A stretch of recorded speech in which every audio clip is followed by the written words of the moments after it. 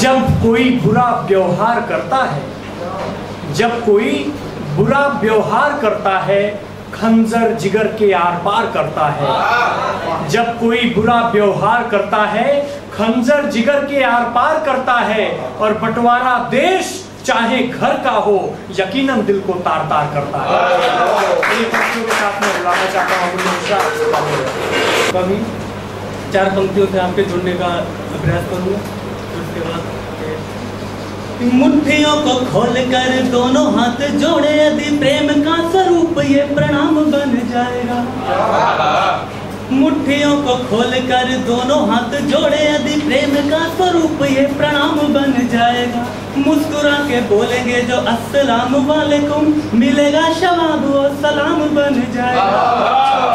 मुस्कुरा के बोलेंगे जो अस्सलाम वालेकुम, मिलेगा शवाब वो सलाम बन जाएगा। एक दूसरे के जो बनेंगे धर्म रक्षक विश्व हेतु शांति का पैगाम बन जाएगा। और घर घर से निकलेंगे, फिर विवेकानंद, हर व्यक्ति अब्दुल कलाम बन जाएगा।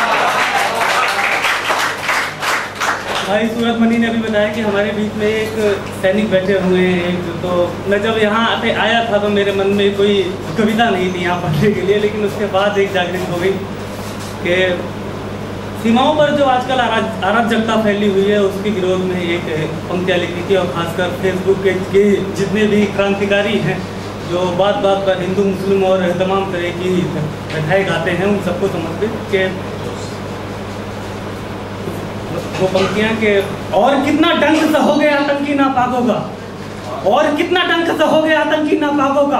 बोलो कब इलाज करोगे आस्तीन के सांपों का और कब तक लाशें आएँगी, सेना से, वीर जवानों की? बोलो कितना मूल्य सहे चाचा नेहरू के पापों का। बोलो कितना चाचा नेहरू के पापों का।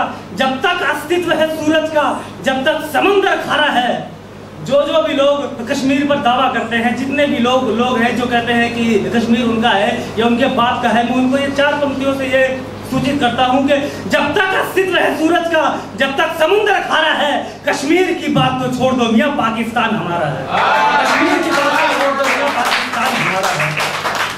अभी बीच में हमारे गृह मंत्री ने एक आदेश दिया कि बच्चों से गलतियाँ हो जाती हैं तो पत्थरबाजों से हम केस वापस लेते हैं।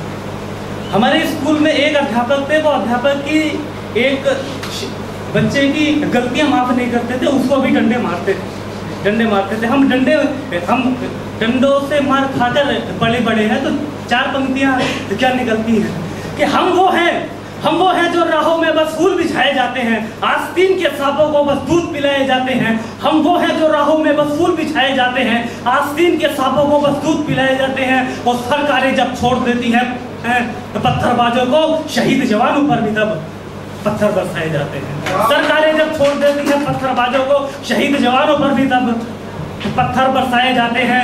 जब तक हिमालय पर्वत है, अखंड भारत का नारा है, कश्मीर की बात तो छोड़ दो, मियाँ पाकिस्तान हमारा है।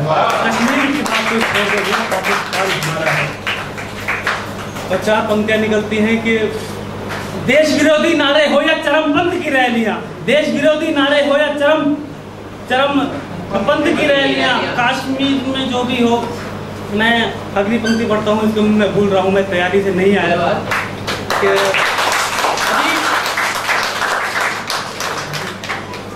एक और प्रोग्राम में तो मैं तैयारी से नहीं आया था अपनी।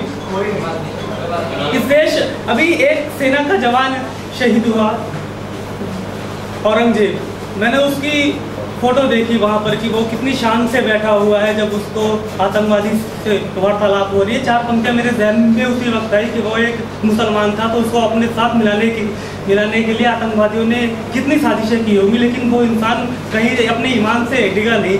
चार पंक्तियाँ मैंने क्या लिखी कि, भले हो कुछ मतभेद हमें आपस में बैर समझना मत, भले हो कुछ मतभेद हमें आपस में बैर समझना मत, आतंकी नापाको अब तुम अपनी खैर समझना मत, पाँच वक्त के अता नमाजी वतन परस्त मुसलमान हैं, हम भी हिंदुस्तानी हैं, हमको गैर समझना मत पाँच वक्त के अता नमाजी वतन परस्त मुसलमान हैं, हम भी हिंदुस्तानी हैं हमको गैर समझना मत जब तक कुरान में आयत है, अखंड भारत का नारा है, कश्मीर की बात तो छोड़ दो भैया पाकिस्तान